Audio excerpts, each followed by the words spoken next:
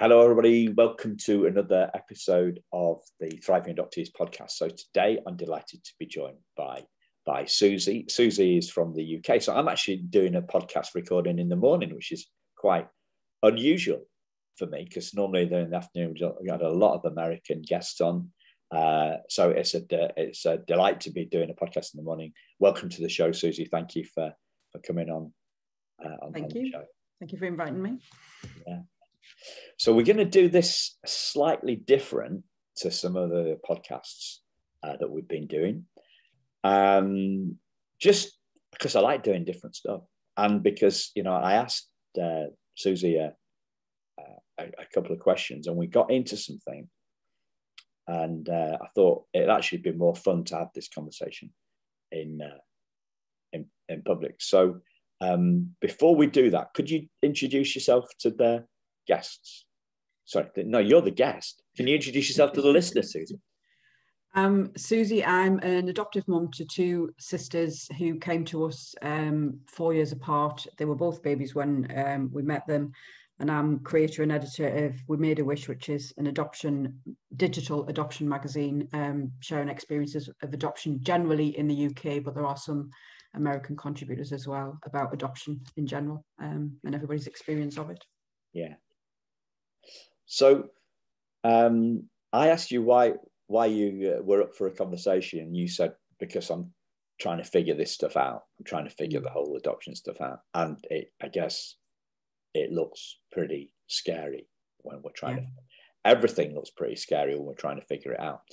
Um, so I asked you the question: What is it that you want for your for, for, for your girls? What so what is it? What what do you want for them? What's what's the ultimate aim that you have?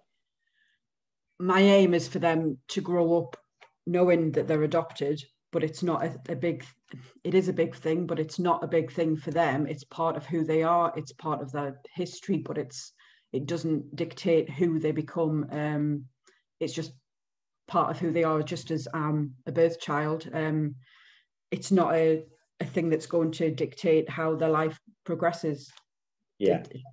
I want them to understand it embrace it if they want to ask questions but it not be a big thing that's going to hold them back um, yeah. yeah. And are, are you concerned that it will hold them back? No. What I my concern is that, and we were talking about this a little bit before about putting pressure on myself as, a, as an adoptive parent, and I know that that's something that a lot of adoptive parents do, is getting it right. The, the level of support that we give and how we help our children to understand what's gone on in their past. Um, and it feels like if that's wrong from the start, that could then impact how they go through the life understanding their history. Um, and we talked about whether as adoptive parents, we put too much pressure on that and too much pressure on thinking um, it is, you know, it, it's like the elephant in the room that we're talking about too much. Perhaps we do talk about it too much, and it's getting the, the balance right and learning how to do that. Um, yeah. yeah. So ultimately, if you could sum it up in one word or two words, what is it that you want for your kids? To be happy. To be happy. Yeah. Okay. Cool. And just grow up being happy and, and they're obviously not going to grow up every single day being happy, but just being happy themselves and who happy they are. Themselves. Yeah. Okay. So, uh, as I said, we're going to do something a little bit different. So, where do you think happiness comes from? That's a good question. Um, from within yourself, from your surroundings. Um, I think it starts within yourself um, and how you feel about yourself and how you feel about the world that you live in. Yeah. So. Uh, so I guess really I want to give them the tools to be able to be happy in themselves, you know, with the whole selves, with the whole life, understanding everything, understanding, you know, their cousins who they're know through being adopted um, and how that relationship is and how all of the family fits in but just be happy with that um, that it's not i keep saying it's not a big thing because it, it is a big thing but not feeling that it is. Just feeling that that's my family. Some people uh, birth family some people are not but they're my family and that's that's it. That's the, the start and the beginning yeah. and end of it really. Yeah so i think the, the the main thing for me around all this area is absolute clarity. Yeah. Absolute clarity. Um and when we've talked about i've been asking questions um, and we've been talking about happiness, we've been talking about what you want and um, identity and story. And for me, all this stuff was really, really um, all really unclear. Mm. It was really unclear. So if I go back 12 years ago, I kind of thought that happiness was uh, I kind of thought it was an uh, an inside job, like you related, like you're talking about. But on the other hand, I also thought that it, it would come through business. Mm-hmm. So I thought that once I got to a certain point, then I would be feeling secure and I would be okay. Uh, so I hit this target, uh, a big business target that I had, or big for me, mm-hmm. with give my little business five staff, and it didn't make me happy. It didn't stop me. Uh, it didn't stop me worrying about the future. Yeah. And around that time, I also found out that that um, the teddy bear that I'd had uh, uh, from being a kid was from my birth mother, and that released some unhappiness in the form yeah. of anger, right? Yeah. So this sent me off. Um, this uh, this sent set me off down this route, which eventually led to the podcast today, right? Mm-hmm. So I'm going to talk about two things today. Number one, happiness, and number two, identity. Mm-hmm. So either happiness is an inside job, or it's an outside job, or it's a bit of both. Yeah. What What's your take on on that? I think it probably is a bit of both, um, and I think probably they influence each other. So if if everything around you isn't happy um, or doesn't make you happy, then that's going to have an impact on how you feel, I think, from the inside. Because I think, however positive you are as a person, if everything else around you is down, it's difficult to stay happy and positive. Yeah. Um, so I think it is a, a mixture of the two. Okay. Have you read, uh, have you heard of a book called uh, Viktor? Uh, his, his guy called um, Viktor Frankl, and his no. book is called um, uh, in search of meaning. So he he's he he, he was a Holocaust survivor, right? Uh, and he he came through it. He he, he survived it, and mm-hmm. Not uh, clearly not everybody else else did. Um, but he he managed to somehow he saw something bigger and it's called in, in it's called in, in, in in search of meaning is the book very worth uh, worthwhile read mm-hmm.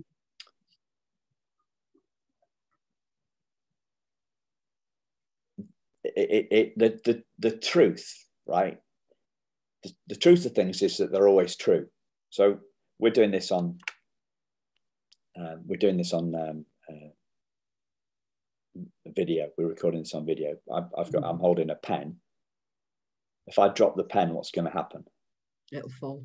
It will fall, right? That's the truth. Within this gravitational field that we're in, mm. uh, the, the truth is always, the truth is always true. So if I drop this pen, it's going to, going to fall, right? Yeah. Um, the truth about happiness is it's always an inside job. Mhm. it, it it only works like gravity. It only works with one. It only works one way. But we're not brought up on that belief. Mhm.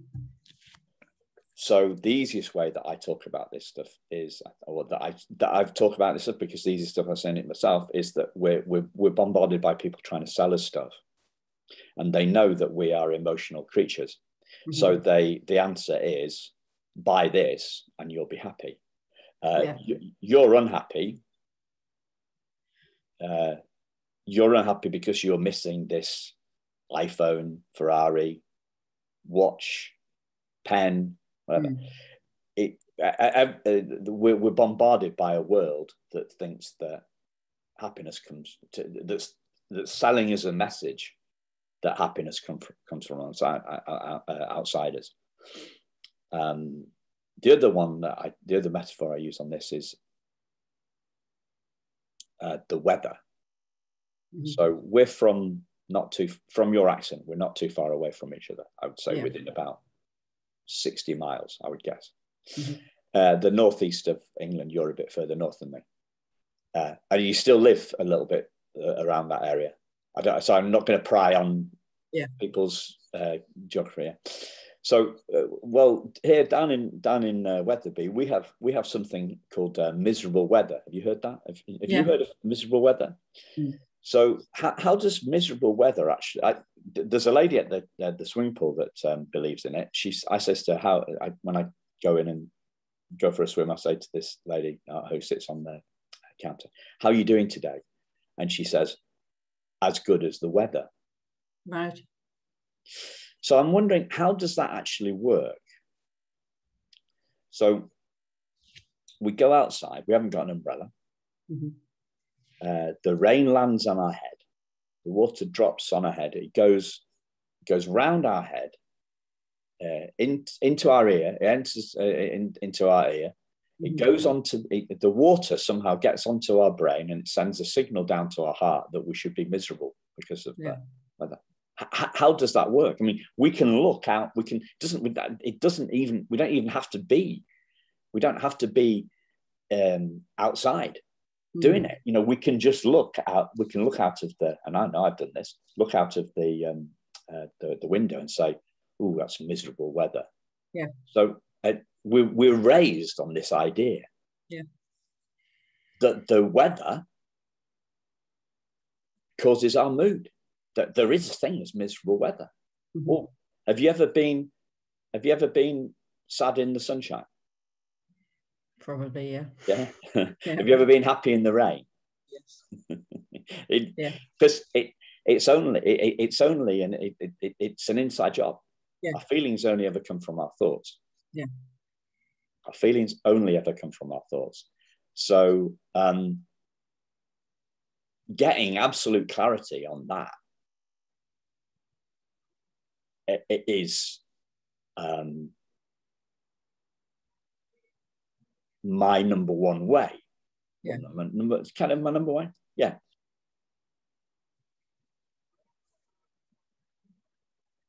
Yeah, one of two ways. Because if you want your kids to be happy, Mhm. um, then they need to know that too. Yeah. So the more deeper, the, the more deeply that you can see the fact that things are inside job, Yeah. the better able you're going to be able to share that with your kids. So Mhm. if you like, do you speak any? Do you speak any foreign languages? I used to. Used to, I'm yeah. a bit rusty, yeah. You're a used bit to speak. Spanish. bit, Yeah. bit, bit, bit of Spanish. Yeah. So the, the if if you went uh, back to Spain, I'm sure it would come back to you. And Yeah. um, if you went on like like a language course in, uh, uh, you know, you started reading some, uh, started listening to some Spanish stuff on the news. You started doing uh, taking a Spanish course on an app or watching something on YouTube. Then your Spanish is going to get better Yeah. and and and, and the the better your Spanish, if you wanted your kids to learn Spanish, Yeah. you would need to become more proficient. Uh, right Yeah. at the moment, you, Yeah. you you trying to teach them Spanish would be a non-starter. Yeah, it would It- but it would be better. It would be better than me trying to speak them, to teach them Spanish because Mhm. I only know hola, que tal, dos cerveza, man, uh, mañana, um, and, and I'm and the next word is coming into my French is in, into my in, into my head is actually Italian. So you know, I I, Yeah. I would be a complete dead loss. Mm. So the more the clearer that you can be on where your feelings come from, the Mhm. better able you're going to be able to be to to teach that to your kids. Yeah. Yeah. Right. that makes sense. That makes sense. But I, I heard i- i- if they're teaching um, this, I'm going going from Spain to France, right? So to be a to be, but it isn't just that. It isn't just about that your own skills. So um, the French, I heard this, and it's incredible. I heard this story about 30 years ago. So if you want to be a French ski instructor, all you have to be able to do is to ski Mhm. you have to be able to ski a downhill route and you have to ski it within 10% of what the this is this is a, a while ago you have to ski Mhm. it within 10% of the time of a world champion right Right. so but that that's to be a teacher Mhm. so but that you know so why would you have a uh, a skiing criteria rather than a teaching criteria it makes no Yeah. sense whatsoever so it's not only what it's not only what you know it's your ability to share that information with your kids so you Yeah. need to develop two, two things number one an understanding of of where um, where where your feelings come from Yeah. um, and then and number two would be a uh, an ability um, a skill to teach that to your kids Mhm. so that's what I've been doing the last seven years. Before I moved into the adoption space, I was going around uh, primary schools um, around um, uh, Leeds, Leeds, York, Harrogate, Wetherby, near where I live, Mhm. helping kids understand where their feelings come from. Yeah. And, and helping them understand if this is. And I must say, they cottoned onto this stuff a lot quicker than I did when I was learning it, and a lot Yeah. quicker than I do when I'm having the conversation as adults, right? So if you if you want your kids to be happy, n- number one, you got to learn where where and where where happiness comes from, and then you've got to learn how you're going to share that with your kids. Yeah. Kids, yeah. Yeah. So that's the happiness thing. Um, and the the the things that that but the natural thing that people go from that from from that learning is they say, okay, so um, so I need to, if I'm feeling sad, then I need to learn how to change that sadness into happiness. And we become, um, and that, that's a kind of a logical place to go from from what I just said. Yeah. Um, but I don't know. Have you ever tried changing your thoughts? Yes. Yeah. You tried changing your feelings? Yes. Yes. Yeah. How successful have you been? Thoughts are easier than feelings, I think. Ah, Um, okay. Yeah. I, I, I haven't I, I haven't found those very things very easy either. And Mm. the lucky the funny thing is kids find it very easy to do it. Yeah. yeah, Yeah. they've got they've got less they've got a less going on in their they've got less going on in their heads. They've got less uh yeah. Well, for them, it's just kind of that's it. And They get over it. it. You know, this is the whole thing. People talk about resilience, but kids are far more resilient than adults. oh, definitely. Yeah. So they bounce back. Mm. You've seen that. I, I um, you know, the you've seen one of those moments. Maybe you've experienced it, where one of the girls has fallen over. You said it was two girls. Yeah. Yeah. yeah.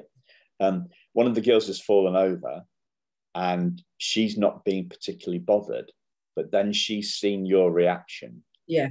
You, Yeah. Has that happened to you? Yeah. And Yeah. that makes them then think, oh, perhaps, perhaps I need to cry or get upset um, when I wasn't really going to in the first Yeah. place. Yeah. Um, well, yeah, that's it. Because what they what they're doing is they're picking up on that. They're taking on your conditioning. Yeah. And that's what we do. That's Mm. what all kids do. Yeah. they they're like sponges. Mm. they they pick up they pick up the good stuff and they pick up the bad stuff from us, Definitely. which is why how we are is the big biggest determinant of how Yeah. they are. Definitely, definitely. So the fact that you've come on and agreed to have this conversation with me to, to explore all this, that's brilliant because you're learning how to be, you know, what Gandhi would say, you know, we want- to be the change that we want to see in the world. Yeah. Yeah. So brilliant, brilliant. How's this go? How's this? How's this for you? I, I- Oh, me, I'm good. loving it. I- Yeah, I'm- yeah, no, it. great. Yeah, yeah. Um, so the natural thing to do is is to try and change the uh, to, to change uh, change our feelings. Um, so one of the biggest this that area was one of my biggest uh, entrees into this Mhm. this thing because I saw a, a guy and a, and a woman um, talking about this stuff and the fact that most of us so this is a, if you want to check them out, listeners, this is a guy called uh, Richard Wilkins and a guy, a woman called uh, Liz Ivory, Elizabeth Ivory. They're they're um, they're partners in life and in a, I guess you would call it business, social enterprise sort of thing, uh, called the Ministry of Inspiration. If you want to check those out, um, they. I, I, they were the one of the instrumental instrumental duo in my learning, right? Most of the time, we're not choosing what we do, Yeah. how we feel, what we think, or how we see ourselves. Mhm.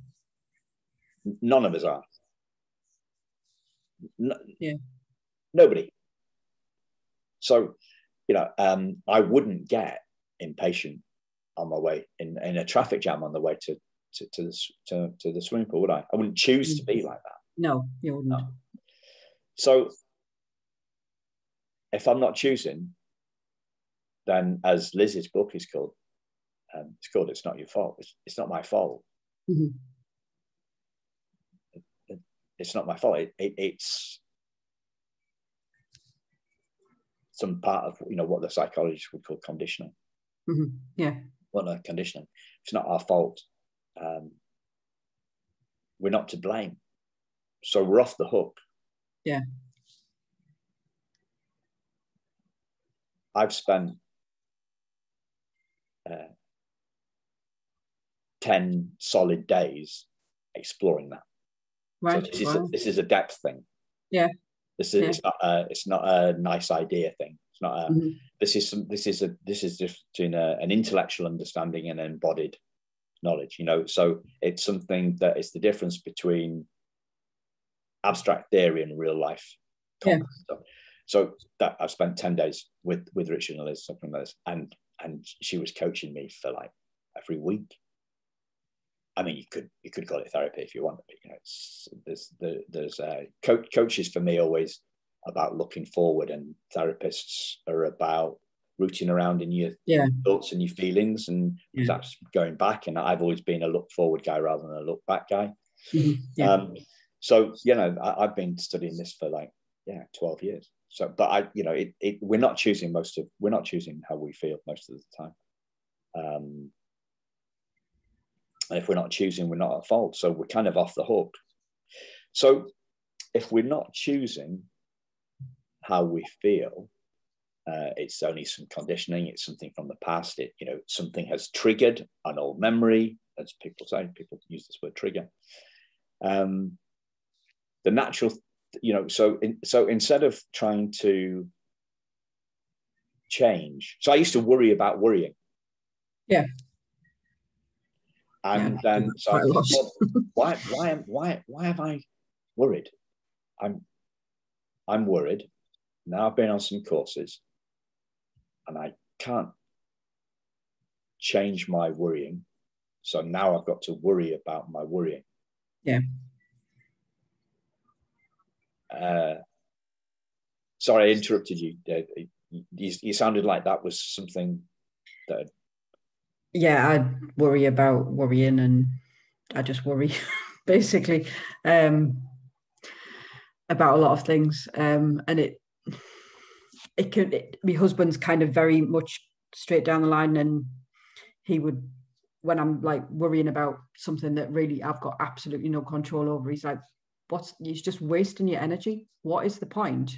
There's nothing you can do about it." Um, How does that make you feel? Like I should be able then to just switch it off and not Yeah, worry yeah. it doesn't. So when people tell that sort of stuff to me, I, I'm thinking, I can see, I, I completely get your logic. Yeah. But But can the you please just get off my that. case? Yeah. Because all you all all that happens to me when I when that happens to, to me is then that puts another layer of um SH1T on the case, you know. Yeah. Puts 'Cause then another layer of worrying. yeah, because you can't then- then, share how you're So I- feeling I'm- about it. So I started off not being worried about worrying. Mhm. And I started worrying about worrying. And then I started really beating myself up about worrying because I couldn't stop the worrying. Yeah. And then I don't know what happened after that, but it was another layer on it as well. Mhm. Another, another layer on it. And I guess that's kind of what I've learned. Um, so I worry less about worrying these days. Yeah. But I'm still wide awake at five o'clock in the morning thinking, how am I going to change the world? Mm. Do you know what I mean? I'm, I'm, I'm not, I'm not, I'm not immune to this stuff. Yeah. Um, the the big thing is that for me is that there's there's something more important than our psychology. Mhm. Yeah. So, you know, we're not born with a lot of we're not a we're not born with a lot of a lot of stuff on our mind. So, how can we be something that we're born without? Mhm. That make any sense? Yeah. Yeah.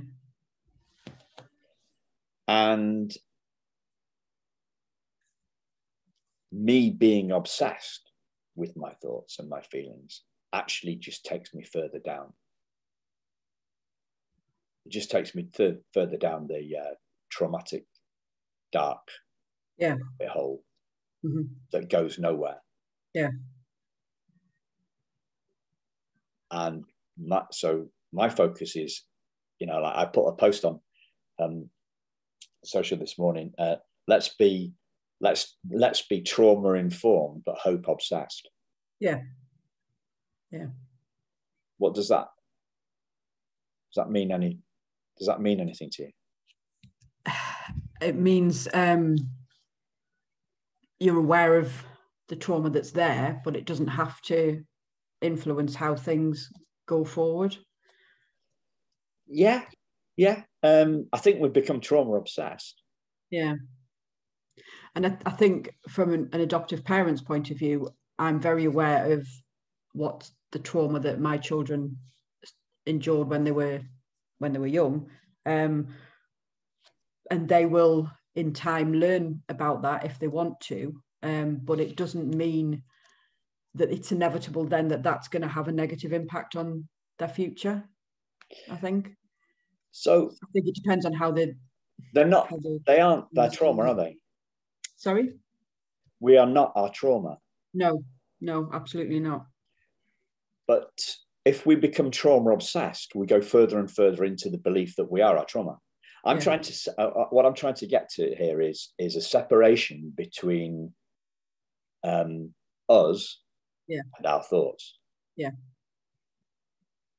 So we're taking our thoughts less seriously. Mhm. The um, the voice in our head becomes uh, an opinion that we no longer value. Yeah. So where I've been is I've spent a lot of trying to I've spent a lot of time trying to silence the voice in my head. Mhm. So I'm worrying, and therefore I'm worrying about worrying, and then I'm trying to silence the worry. Yeah. Trying to silence thing. Now, you've heard the have you heard the phrase "what we resist persists"? You heard that? No, I don't think I have actually. What we what we resist persists. What we focus on gets bigger. Mhm. What we worry about gets bigger. It can do. um, it's like you know put a magnifying glass. If I ask you to if if I ask you to list all the things that were going wrong in your life right now, mm. um, which I'm not going to, then you, then you, you, your your attention is going to be just focus on, on them. Uh, your intention your intention is going to be on what's wrong and yeah. you know and I'm speaking as a guy for a lot of experience of this because I focused a lot on what was wrong rather yeah. than enjoying what's right. So what we resist persists, as, as they say, and that's kind of a nice little phrase. But um, we've become the, the, world will I, like I, have spoken to some highly gifted uh, adoptee therapists, and all they want to do is talk about the trauma. And I'm mm. saying, no, what but we're not our trauma, are we? Mm. I say to what's the most important thing that people should know. There's an, a, an interview in the podcast with Joe Soll, right? He's one of the leading lights on this uh, in the in the adoption world. Um, so, and I was having a conversation from him, and I said, "So, what do you want to know? What do you think you want to share?" And he, he talked about for about 20, 25 minutes about trauma. I said, Joe, is there any hope? He said, Yes, of course there's hope. I said, Okay, let's start recording now then. He yeah. wanted to talk to me about the trauma for 20, 25 minutes. Well, I'm an adoptee. I know. I know yeah. what that's all about. Yeah. I don't want to be, I don't want to be, I want to be hope obsessed, not trauma yeah. obsessed. Yeah. What we focus. And we are, you know, we you, you've kind of like you've agreed with me. We we are not our trauma. Adoptees are not our trauma because we're not our thinking. So we, we, we need to, as adults, we're so obsessed with the with the voice in our head. We're so identified with it. We think the voice in our head has got a valid opinion. Mm-hmm. We think that it's true. We think that, um, or we think that we're going mad. We think we're going mad because we're listening to it.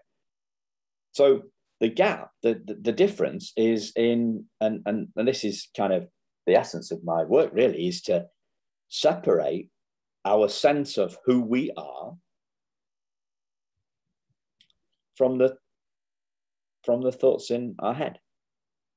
Yeah. Is, is this making well to what extent is this making sense? I mean because I, I could be way over here right? I, am no it does make sense. It makes a lot of sense. Yeah. Because it i think a lot of um my concerns and and everything else about my children and how they're going to grow up are probably not their concerns. They're not at the moment, certainly they're not interested in any of that information. They just they just want to get on with their lives and, and be kids. And I think a lot of it is that me learning not to think about take it well for me to take their lead rather than thinking, well, at, at this point, should be introducing this bit of information um, that's not really bothering them. Um, it's just learning how to do that, I suppose. Um, but it, what you said makes a lot of sense. Yeah. I'm worried that it's too theoretical because we're all looking for the hows. Yeah. Yeah. I've, I've not really given you any hows yet, have I? No. No. Well, there is only one how. Yeah. It's seeing it. Yeah. Yeah. So um, we've got this idea uh, that it's all about the how. Mm-hmm. We're raised on that idea. We're, we're, educated. We're brought up in this area that it's all about the how. We're, we're educated. So before I was talking, uh, before we started recording, I was talking to you like it, it's like it's a chemistry experiment or it's a physics experiment. We're, we're brought up on this idea that um, we get a list of equipment you know, we're gonna we get we have a list of equipment, tripod, Bunsen burner, gauze, all these hydrochloric acid test tubes. We got, and then we're going to go through this method, uh, and it's uh, uh and uh, we're going to try this, and that's not going to work, and it's going to fail or whatever. Um, we always get the right. We're always going to get. We're, we're going to to have something. We're going to have a, a method. What do you call it? A method uh, in, instructions. We're going to have instructions, and and that's how we're kind of we, we are um,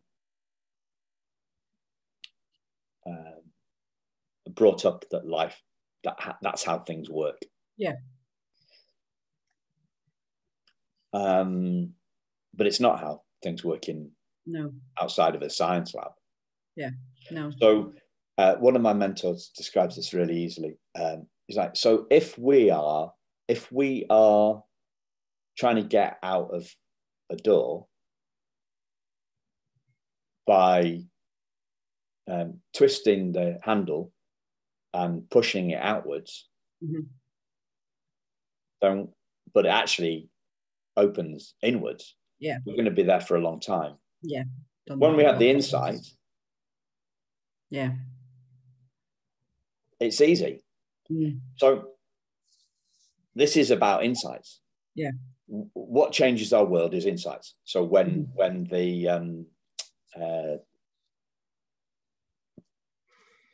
when I saw that it wasn't my fault. Yeah.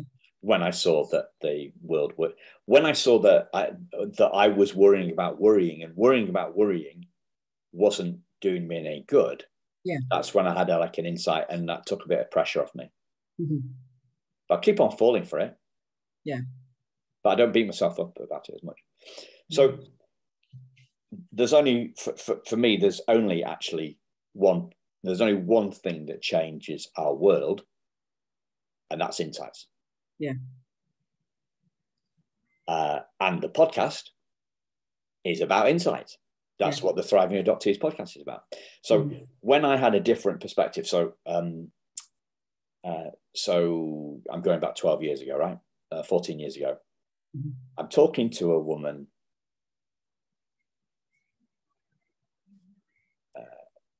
Well, I went on this course. I went on a course. It was a communication course, and I had a big explosion of anger. And the, the woman that's running the course said to me, "I think there's something there, Simon. If you ever want to come and talk about it, I'd be happy to do that." Mhm. And I, instead of saying,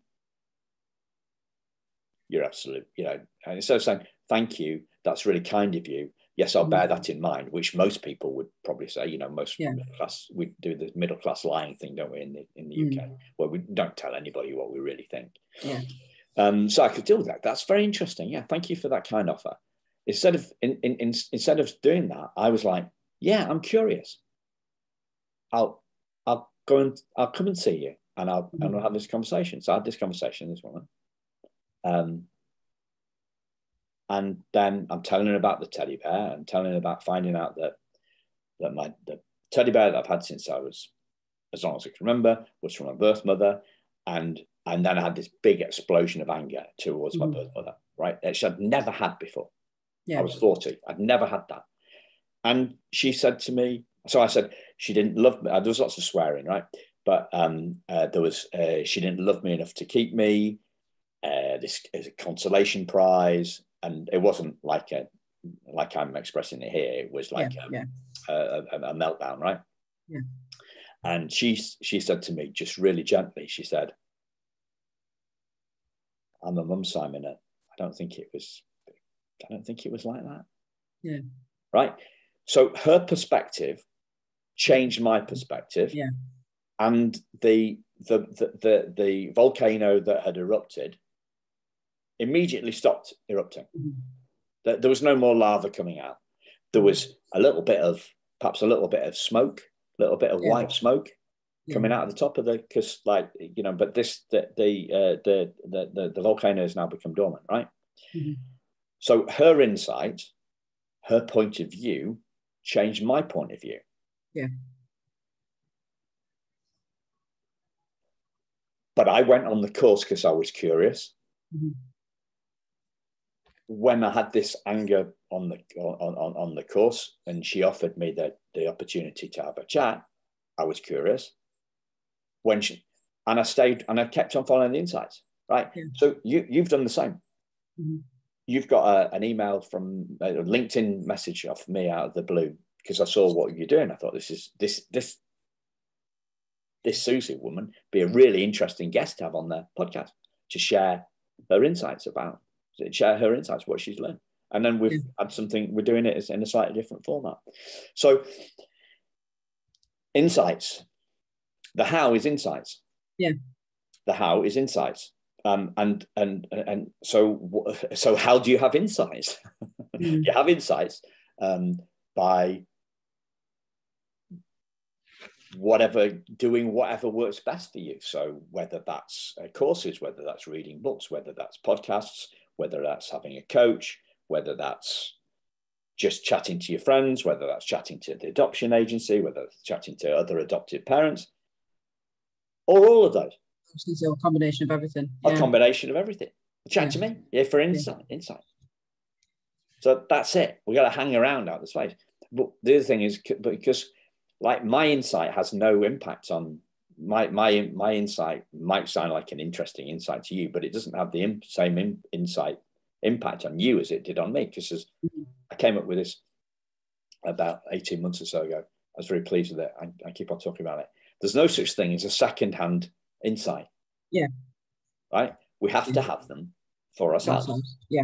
So if I go back to the, I'm practicing what I preach here. I'm trying to do anyway. Right so the way that we teach kids mm-hmm. is by helping them to insights. Yes. Yeah, that makes a lot of sense. So they see it for themselves. Yeah. They see it for themselves. Yeah. Because they have to see this. Their, their world won't change until they see stuff for themselves. But that's got to be age appropriate and like all that sort of stuff, right? Yeah. Yeah. But what it, would, yeah. I was just going to say it. It blows my mind because when at the moment we're just doing it based on when my eldest daughter asks questions and to her she asks a question she gets the answers and it it doesn't seem to bother her at all. Um you know it's just like asking about a, a birth mum and kind of i don't know whatever um what color hair she got or things like that. And it's just cu- curiosity for her. Whereas for me i'm kind of thinking goodness i know a lot more information about it. And and but it, like you say, it's her having her insight into it is just I want to know the information and then I'll go off and play. And if I want to ask some more questions, I will. Um, and it's trying not to put onto her anything that I'm so, thinking about it.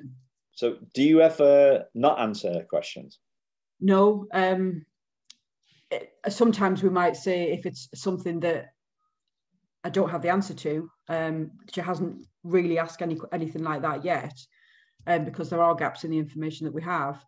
Um, I would say I don't know the information, but we'll try and find it out. Yeah, I would. I haven't, and I would never say to her, "No, I'm not answering that question," because you wouldn't. Yeah. Um, it's her. I, I'm kind of. I don't really know how to say this, but I, I've got the information to help her understand things. So I've got no right to say to her, no, no I'm not going to tell you that. Um, yeah. And the kinds so, of questions she asks at the moment aren't age inappropriate. They're not kind of like, why couldn't she look after me or anything like that. So it hasn't got to the point where we've had to say, um, kind of simplify things. Um, yeah. So, yeah, I mean, to, to, to be I, we want to be the, the thing that popped into my head, right, was you know I talked about therapists and stuff earlier on, right? So when I was having a bit of a tough time a few years ago, I thought I'd go and see a therapist, right? And mm-hmm. um, the therapist said, uh, "Well, uh, I'm in." Uh, it, she had some really strange language, you know, like highfalutin, like yeah. Uh, oh, very posh lady. I, you know, I, it was in Harrogate. I, I don't think it would be uh, I, I, you know, I'm involved in the adoption triad, but I don't think it would be, um, I don't think it would be uh, appropriate for me to share what those things are. Really, she she wasn't actually like that, but yeah. I just thought, I don't trust you, woman. If you're expecting me, if you're expecting me, you've got to leaders go first. Yeah, that's the yeah. whole point of leader. Leaders go first. Leaders go first. They are first. They, they, they're first. That's why they go first. And going first means sharing information. Yeah. first, being brave enough to share the information. Mm. Um, and not saying I don't think it's appropriate. Uh, you know, you can't say, "Oh, it's not appropriate for me to." Uh, for me, that oh, and then some people might say, "Oh, Simon, oh, Simon, he's got trust issues." You know, he wants to know. He wants to know what therapist. Well, uh, yeah, okay if you really want to go down that route, but doesn't seem like that to me. If I'm going to, I want people to be open. So you're being open with your daughter. Um, I guess at what at some point you'll maybe you'll think, uh, I'm, I'm answering these questions, maybe I'll just get out a bit more in front of the questions, or maybe I won't. Or, but she's got to know that you can. Um, she's got to know. She's got to trust you. Yeah, yeah, absolutely. And, and that and means want, answering questions, and so yeah. you're doing it. And that's that's that's what we want is that they never feel that they can't ask yeah. a question about it because that that's just that's you know why wouldn't you answer that if you've got the information and and and helping them if they want the help there to to kind of understand and put all the pieces together? And this there's this thing here there's this thing here there's um that curiosity um is different for every adoptee yeah okay so i never i was never interested mm. never so if you tried to foist, you wouldn't do this, but you know, like you, have yeah. got to kind of meet, you have got to meet the kids, kind of meet them where they're at, give them, the, yeah. but you also got to be, I guess, flexible and kind of. I mean, you mentioned this take, taking their lead.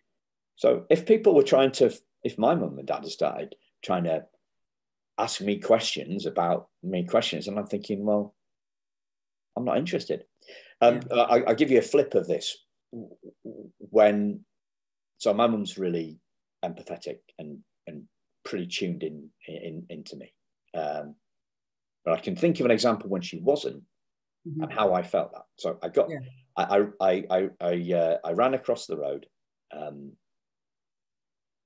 I was, I was walking back from school. When I was ten, uh, and I got, I, I didn't see this little van that you know like a car van you know the tiny mm-hmm. thing yeah. um, come out of this side street and and it knocked me over wow. and when i got and so i remember the uh, i'd just been to the sweet shop and you know like we were having i've been saving up all my money to buy sweets mm-hmm. and pop and stuff on the last day of term right mm-hmm. and i remember the uh, the uh, the bottle of pop going fizzing across the the road yeah. you know that's that gone um, and but luckily my sweets were still intact. Anyway, so I got home and I said to mum that you know I had a bruise, I had a bruise on my leg because I, I was yeah I was I was walking from the to the bus stop to get bus home. So by the time I got home, half an hour later, whatever, the bruise was already forming where yeah. I'd hit the tarmac. And she she said she said silly or something. What I said to mum, like, oh mum, I, um, I got I got knocked down, um, and she said, oh, you silly thing or something like that. Mm. And I thought, I didn't do it on purpose. Yeah. And obviously, it's just her reaction in the moment. And yeah. I say, no, she's empathetic. But I felt a real disconnect with that at that mm. moment. I thought, what, why? You know, I'm still talking about it for, you know, oh, like, it's not, I'm not still talking about I'm talking about it to you. Yeah. I don't yeah. talk about it every day of the week, but it, it's a story that popped into my head when. So, like, we need to kind of meet them where they're at because if we're if we're you know and that's a that's not a, that's not a that's not a science that's not a thing that i can tell you how to do that's no, an no. art that you will that you are already already doing so most mm-hmm. people who are trying to be parenting coaches or you know that sort of um, that, or anybody or, or, you know anybody trying to sell anybody anything they'll say oh well you need to know what i know to hmm. uh, to to to uh, to do what I do. So you know, there's a science to this. Yeah. So you know, you pay me, and I'll. T- I mean, nah, you. It's an art. So you just. Yeah. You just it is, and I think I think that's the difficulty. A lot of adoptive parents kind of feel that the training that you get is like you do it this way, and at this point you do this, and then at this point you do that, and that isn't what real life's about. And I could, I'll always remember one of the reviews we had early on. We happened to have the life story book on the settee because I hadn't tidied it away, not because I was like leaving it there so that at half past two on an afternoon we always go and talk about it. But that's the way that it was put in the. Um, you've got to wait till you've got to wait till quarter to three. Yeah, that's the, exactly. That's the right time. It, and it. that's the way that it, it we're taught on the training and on all the discussions and everything is that it has to be at a you know at a certain point where it isn't it's it's like you say, it's what feels right for you and, and, and what feels right for your child and how they because if, if I sat her down every single week at half past two and said, we're doing, we're looking at this book, she'd be like, no, we're not, I'm not interested. But when it interests her, then she'll ask. And then it's more likely to have a, like, it'll sink in and she then will have more questions about it because it's on her terms. No, no, no, no. Half past four. If you do it at half past four, that's going to Yeah. work. Yeah. But not every week, every Mhm. fortnight. That's the that's the problem. I, th- I I think there's a fundamental misunderstanding you're doing here. Sorry, this is irony for anybody that doesn't Yes, get Simon Ben's definitely. irony, right? Okay. and I think that's that's where the the training and, and, and calling it training for how do you train to be a parent anyway, but it, it's Oh, not there's real seven, life. se- the seven simple steps. Don't you know them? Yeah, I'll tell you what. If you if you buy my book, it's only five quid.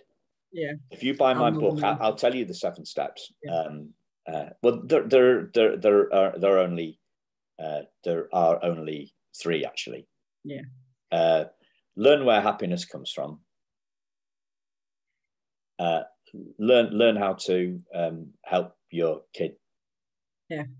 Do that Mhm. and and and learn uh, learn how to uh, learn how to um, separate yourself from your story. So I'm going to talk about that story thing because you you mentioned that earlier on, right?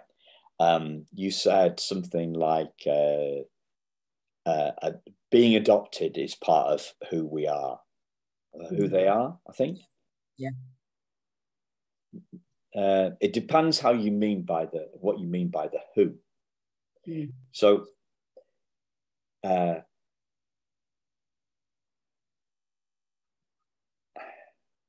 this gets a bit philosophical, a bit abstract. I can do. Um,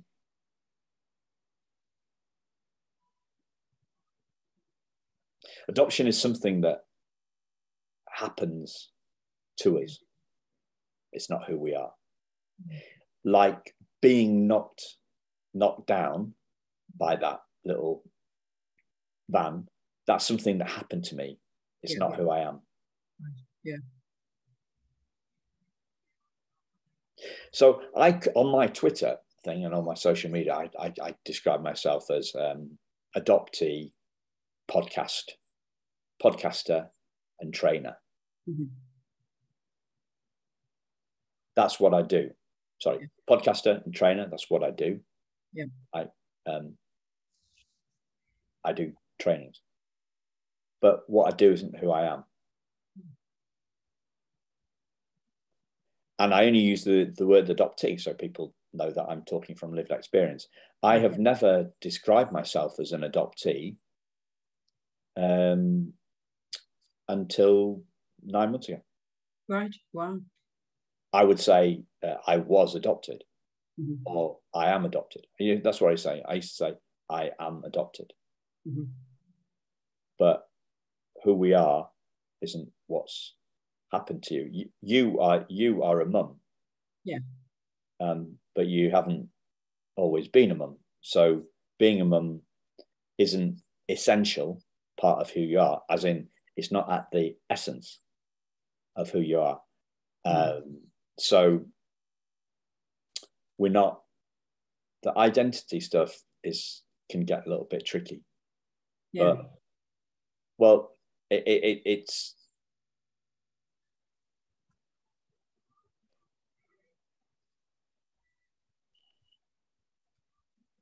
I don't know how to express it.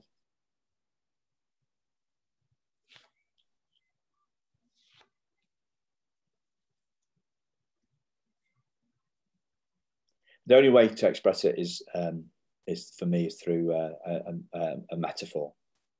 Uh, in, in this in in this setting that we're finding ourselves in right here. So,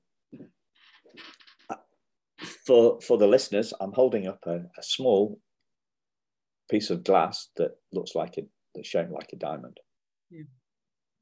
That that's that's who we are when we're born, little diamond. This one was from Amazon from about for about seven quid. It's about an inch high, two centimeters in new money. I found a diamond at my mum's house that I, she keeps on asking me for me back, Mm. a glass diamond, but I won't give it to her back because this is more like about hmm, about 10, no, about 10 centimeters tall, about three inches tall. So, so um, it's a piece of glass that looks like a diamond and um, the the sun is shining. We're not having a miserable day in, in Wetherby.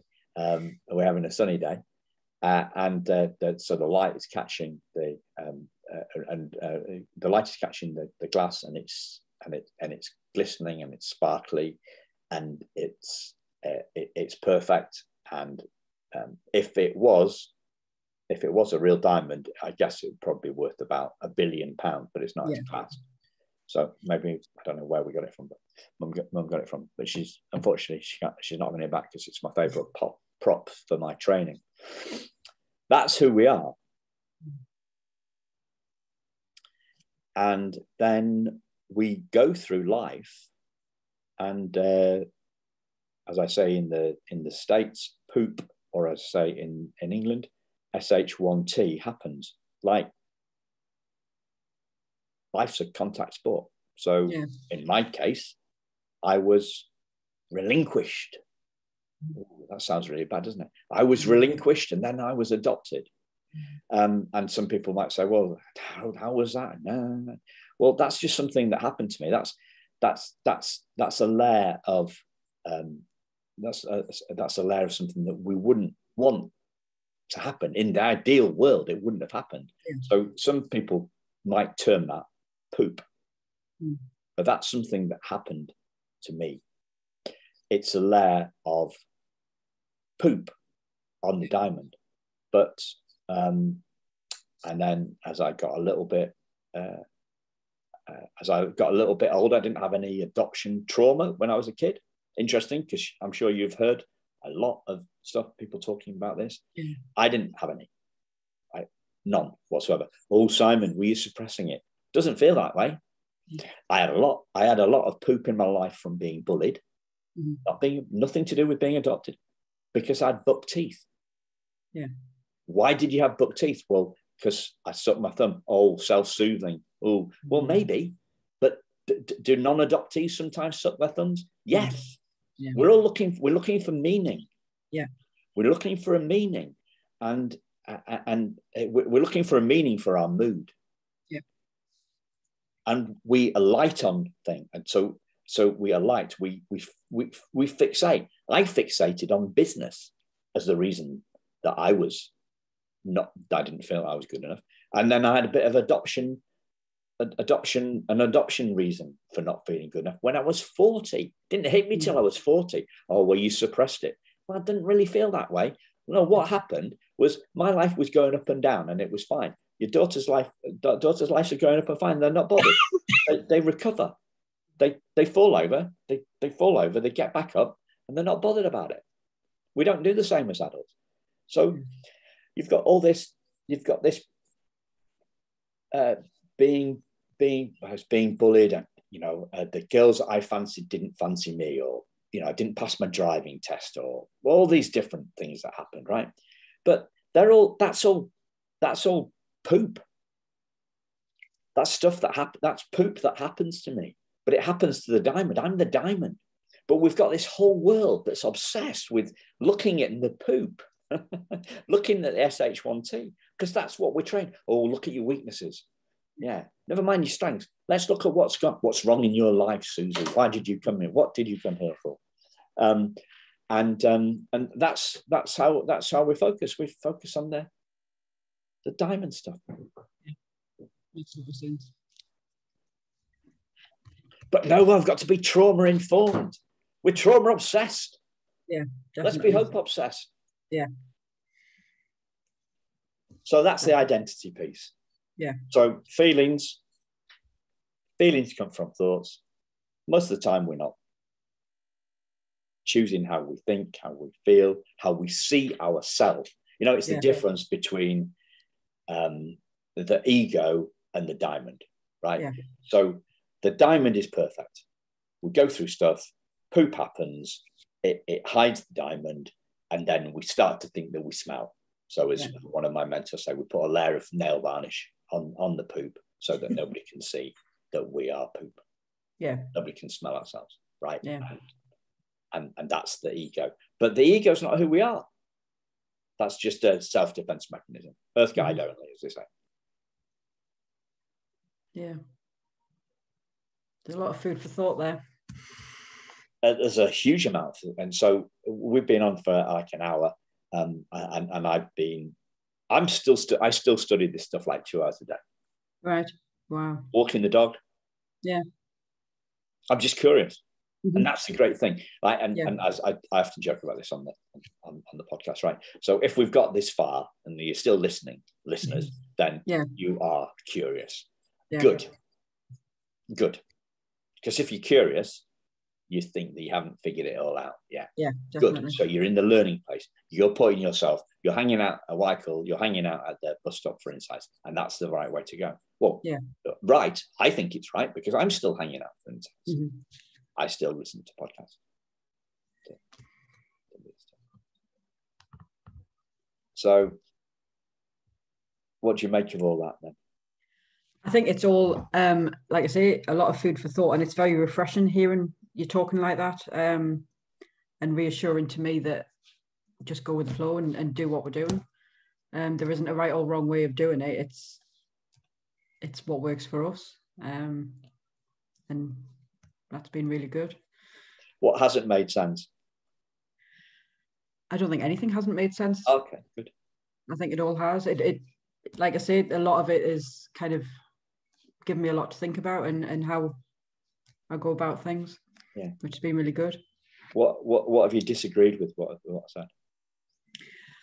Um, I don't think necessarily that I do disagree with anything that you've said. Um, it's been a different way of thinking about things. Um, Yeah. but yeah, and that's been really good. Well, yeah, and and it's it's turning everything on its head. Yeah, absolutely. Mm. Mm. But I only did that because I I only turned everything in my head because everything that I thought was that I thought was going to make me happy was wrong. Yeah. So I had to turn it stuff on my head, really. Yeah. No, it's been really good. Uh, yeah, good. Thanks for listening, and um, we'll see you all again soon. A- an experimental episode from the Thriving Adoptees podcast. See you again soon. Thanks a lot.